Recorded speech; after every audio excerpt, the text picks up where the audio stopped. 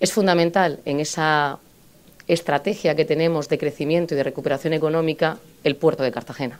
El puerto de Cartagena es el principal motor económico de nuestra región. Es fundamental la conexión a través del ferrocarril, ustedes lo saben, eh, dentro de poco se prevé que llegue el AVE a la región de Murcia, pero el AVE tiene que llegar necesariamente a la capital turística de la región, que es Cartagena.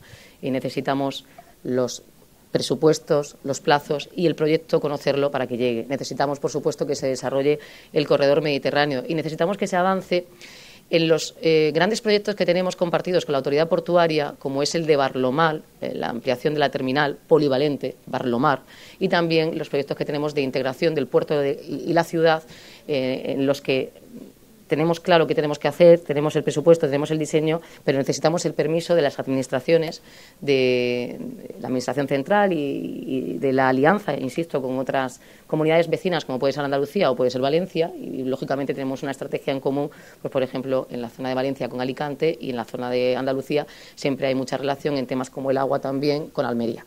Los puertos son, eh, sin duda, ejes estratégicos tanto de la economía andaluza como de la economía de la región de Murcia, en concreto en Cartagena. Y también eslabones fundamentales, fundamentales de la logística que impulsan la creación de riqueza en nuestros territorios. El puerto de Algeciras, el puerto de Cartagena tienen alianzas y estrategias comunes para seguir potenciando la creación de empleo, riqueza y potenciar la economía.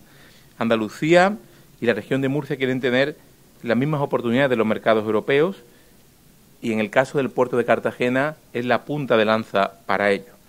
Necesitamos infraestructura ferroviaria de primerísimo nivel. Cartagena es la capital turística de la región, pero también es un gran polo industrial estratégico para España. Cartagena es dinamismo empresarial, lo que se traduce en una mayor capacidad de generar empleo y de crear oportunidades de progreso para todos. Cartagena tiene este magnífico puerto que es un referente a nivel nacional, que ha crecido exponencialmente en estos últimos años y que tiene unas magníficas perspectivas de futuro.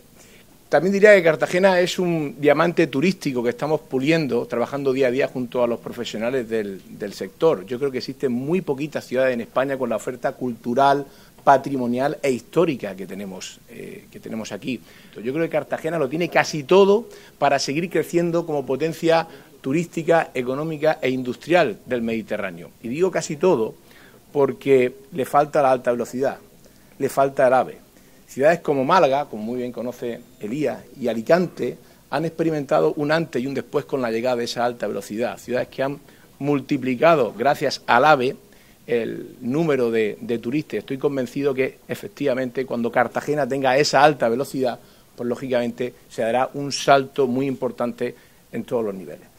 Cartagena y los cartageneros no pueden esperar más esos proyectos estratégicos. La verdad es que somos dos comunidades autónomas de presente y de futuro que necesitamos estar bien comunicadas con eh, infraestructuras de comunicación y de vertebración como son el corredor mediterráneo, como no puede ser de otra manera, para reforzar el metabolismo económico de España y de Europa y de nuestros territorios, por supuesto. Aquí destacamos en esta terminal, pues sobre todo el potencial crucerístico que tenemos en el puerto de Cartagena, en Cartagena y la región de Murcia, donde tenemos un crecimiento en los últimos cinco años, eh, cinco meses, perdón, de un 30% respecto al último año pandémico, de respecto a 2019, con más de 250.000 cruceristas, 218 escalas y una potenciación también en cruceros de cierto eh, e importante poder adquisitivo.